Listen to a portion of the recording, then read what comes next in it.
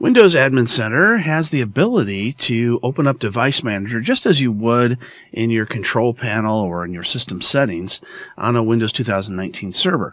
And we can control other servers as well. So we see that we have our local server, file server 1, and we have our domain controller listed in Windows Admin Center.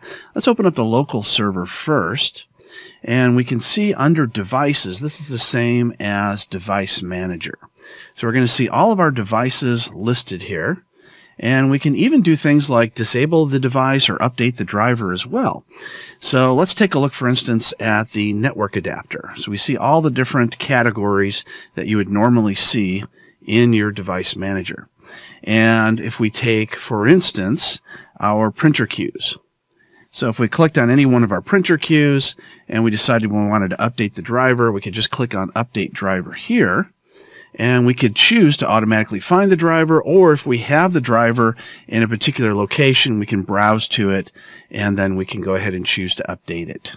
And we can do the same thing from our other server as well. So if I go to for instance DC1 which is a domain controller I can click on devices and I get the same list of devices and I can do the same things here that I could do on my local computer. Now you can install Windows Admin Center on a Windows 10 PC as well as any server, so you don't have to do this from the server itself. You could do this from any workstation. And from any workstation you can connect, as long as you have the correct username and password, to any server that may be running this particular Windows Admin Center as well.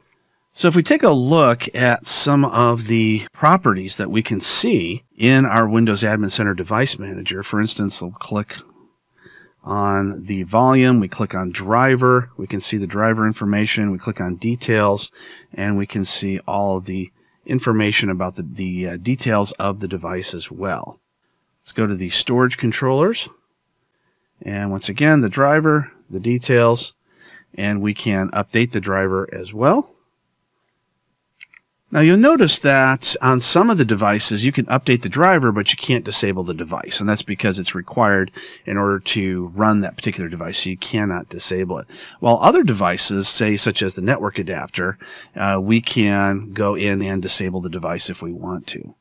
So that's a quick look at the device manager or devices in Windows Admin Center running on Windows Server 2019.